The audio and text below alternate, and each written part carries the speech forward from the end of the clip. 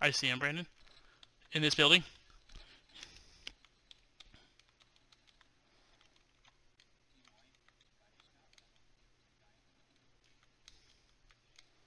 Oh my gosh, I killed one with the bouncing